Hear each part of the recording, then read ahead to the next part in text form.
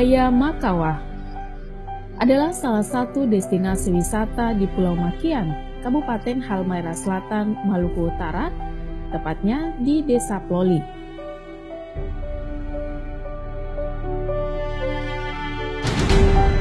Waya Makawa menjadi destinasi wisata andalan bagi wisatawan lokal maupun mancanegara.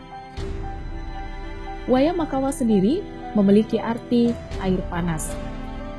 Konon, sumber air ini diyakini berasal dari pemberian Sultan Ternate Mandarsa. Awalnya, Sultan menancapkan tongkatnya di sela-sela akar pohon beringin, yang kemudian menyemburkan air panas. Sehingga masyarakat setempat kemudian membangun kolam untuk dijadikan tempat pemandian yang kini dikenal dengan nama Waya Makawa. Letaknya di bibir pantai semakin menambah keunggulan Waya Makawa. Menariknya, meskipun kolam Waya Makawa berada di bibir pantai, namun airnya tidak terasa asin. Airnya yang jernih dengan sedikit uap yang mengepul bertemu dengan asinnya air laut di bibir pantai.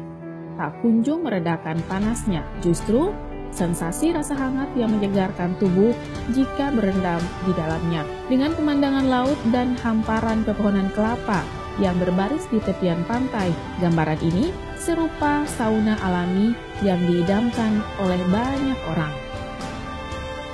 Waya Makawa ini diyakini dapat menyembuhkan berbagai macam penyakit kulit. Di area wisata Waya Makawa sudah tersedia berbagai fasilitas penunjang di antaranya, gazebo bagi wisatawan untuk bersantai, fasilitas internet,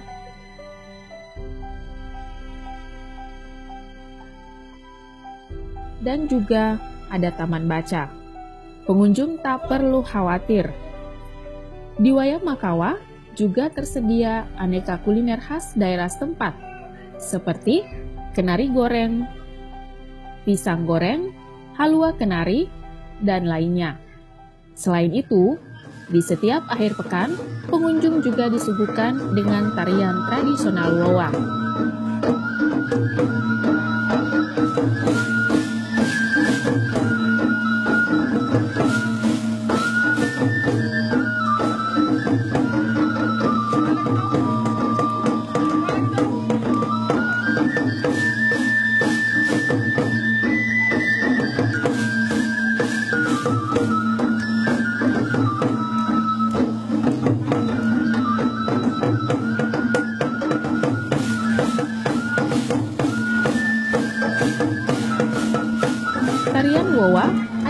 Tarian perang pada masa kejayaan Kesultanan.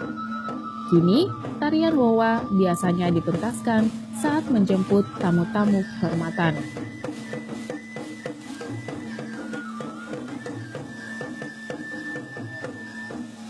Akses untuk mencapai wisata Waya Makawa Desa Ploli sangatlah mudah sebab letaknya tak jauh dari pelabuhan Ploli.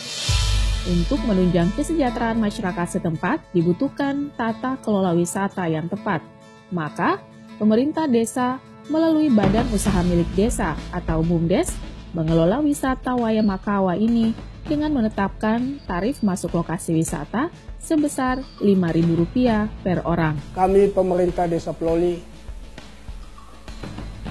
menggunakan kegunaan dana Desa Ploli tahun 2018 pemerintah Desa Ploli mengalokasikan anggaran lewat musyawarah desa untuk mengembangkan wisata Wayamakawa yang dikelola oleh BUMDes. Di sisi lain, kami juga mengharapkan adanya perhatian dari pemerintah pusat dan daerah untuk lebih membantu kami mengembangkan wisata lebih baik, lebih baik lagi karena masih terdapat sejumlah fasilitas penunjang yang masih kurang. Makanya itu kami selaku pemerintah desa mengharapkan kepada pemerintah desa, pemerintah pusat untuk melokasikan dana tersebut.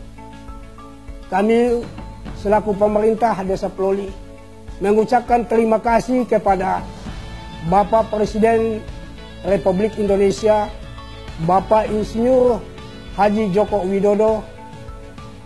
Yang kedua Bapak Kementerian Desa. Yang ketiga Bapak Gubernur Maluku Utara. Dan yang keempat Bapak Bupati Halmahera Selatan